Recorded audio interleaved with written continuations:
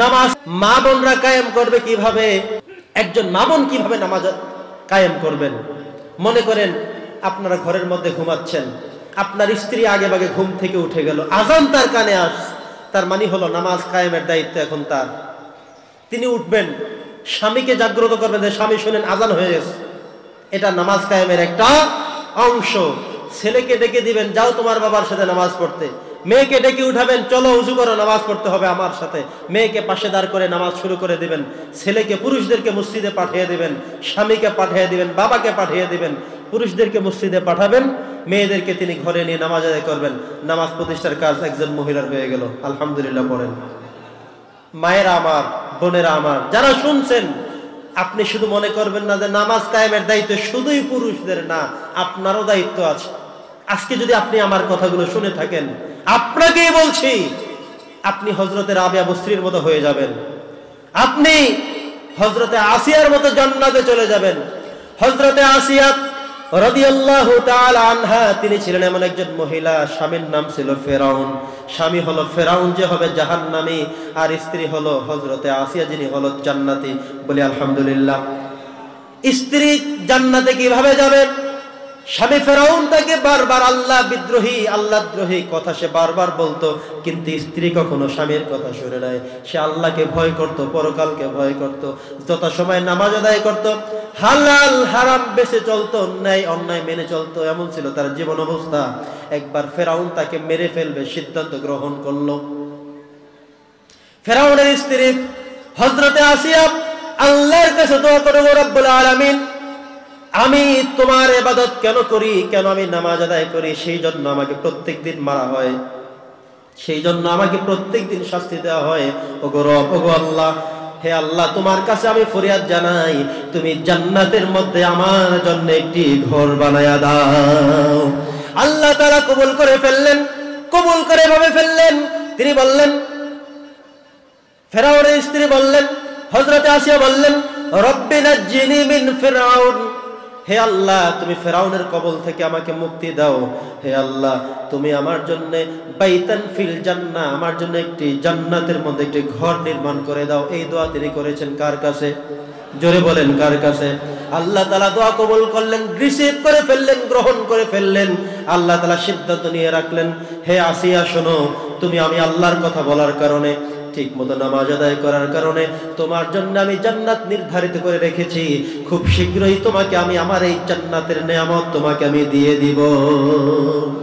এবার ফেরাউন সিদ্ধান্ত নিল, আসিয়া যেহেতু আবার কোনো কথা শোনে না তাহলে আমি তার কোনো কথা আর শুনব না। তাকে যতবার নিষেধ করলাম, কোনো কথা শোনে না।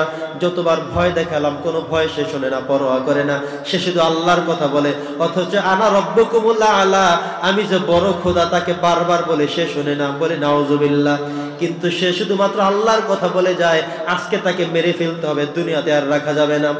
যেই সিদ্ধান্ত, সেই বাস্তবতা ফেরাউন সিদ্ধান্ত নিয়ে এমন বড় পাথর নিয়ে আসলো, আজকেই তার স্ত্রীকে শেষ করে দিবে, দুনিয়া থেকে বিদায় করে দিবে। যেই না পাথর চাপা দিবে, যেই না তাকে মেরে ফেলবে, আল্লাহ সুবহানাহু ওয়া তাআলা এই আসিয়াকে কষ্ট না দিয়ে সরাসরি তার রুহটাকে জীবদ্দশা অবস্থায় সরাসরি মরার আগেই জান্নাতের মেহমান বানিয়ে দিয়েছে। সুবহানাল্লাহ। আর যারা বলেন সুবহানাল্লাহ।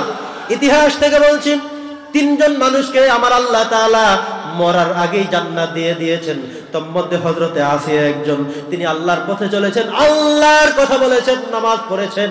নামাজের কথা তিনি বলেছেন, নামাজের সাথে সব সময় তিনি লেগেছিলেন। এই জন্যে তিনি যখন ইন্তেকাল করবেন, শেষ হবেন, আল্লাহর কাছে বলেছে, হে আল্লাহ, আমাকে তুমি ফেরাউনের কবল থেকে মুক্তি দাও, আর আমার জন্য তুমি জান্নাতের মধ্যে সুন্দর করে একটি ঘর বানায়া দাও। আবার আল্লাহ তালা দোয়া এমন ভাবে কবুল করলেন যে সময় ফেরাউন সিদ্ধান্ত করল তাকে মারবে, আমার আল্লাহ বলেন, আমি আর সহ্য করতে পারি না, আমার আর সহ্য হয় না। এত কঠিন বিপদের মধ্যেও, এত কঠিন মুসিবতের মধ্যেও আমার এই আসিয়া আমাকে ডেকে গিয়েছে, আমাকে স্মরণ করে গিয়েছে। আমার তসবে তাহলিল পড়তে কখনোই বলে যায় নাই। ফেরাউন ঘুমিয়েছিল, আসিয়া উঠে নামাজ আদায় করেছে, ফেরাউন নিষেধ করেছে, আসিয়া পালায়ন করে করে আমি আল্লাহকে ডেকেছে, প্রভু প্রভু করেছে, রব ডেকেছে, আল্লাহ আল্লাহ ডেকেছে, অতএব আজকে ফেরাউন তাকে মেরে ফেলবে, কষ্ট পাবে, আমি সেটা সহ্য করতে পারব না। জীবদ্দশায় জীবিত থাকা অবস্থায় শাস্তি শুরু হবে। আল্লাহ তালা তার রুহটাকে নিয়ে জীবিত অবস্থায় জান্নাতের মেহমান বানিয়ে তার দোয়া কবুলের নজিরা দেখিয়েছে। মায়েদেরকে লক্ষ্য করে বলছি আপনার স্বামী হয়তো নামাজ পড়ে না। আপনার স্বামী হয়তো বা চুরি করে। আপনার স্বামী হয়তো ডাকাতি করে। কিন্তু আপনি তার মধ্যে থেকে জান্নাতের মেহমান হতে পারবেন। আপনাকে উদ্দেশ্য করে বলছি, আপনি হজরতে আসিয়ার জীবনীটা একবার হলেও একটু পড়বেন। আসিয়া কত কষ্ট করেছে, কত কষ্ট করেছে। ফেরাউন নামাজের সুযোগ দেয় নাই। ফেরাউন এবাদত বন্দিগির কোনো সুযোগ দেয় নাই। এবাদত বন্দিগি করলে কখনো মার হাবা পায় নাই। এত কিছু করার পরেও এই ফেরাউনের ঘরে থেকেও আল্লাহ তালা তাকে জান্নাতের মেহমান বানাতে পেরেছেন। আর আপনার স্বামী নামাজ পড়ে না, চুরি করে, ডাকাতি করে, অন্যায় করে কিন্তু এই স্বামীর ঘরে থেকেও আপনি যদি নিজেকে ঠিক রাখেন, সময় মতো উঠে যান, নামাজ আদায় করেন, সময় মতো উঠে যান, আপনি নিজে ঠিক চলেন, রমজানের সময় রোজাগুলো রাখেন, আপনি শরীয়তের বিধানগুলো পালন করেন, আপনি দেখবেন মরতে বাকি, এন্তেকাল করতে বাকি, আল্লাহ তালা আপনাকে হজরতে আসিয়ার সাথে জান্নাতের মেহমান বাড়িয়ে দেবে বলি সুবাহ ভাইরা, আমার বন্ধুরা, আমার স্বামী নামাজি স্ত্রী বেনামাজি, তাহলে যার জান্নাতের খবর সে পাবে সুগ্রাম সে পাবে, আর যে বেনামাজি, তার জন্য সে নিজেই জাহান নামে যাবে। হজরতের নুহ নবীর কথা বলছি।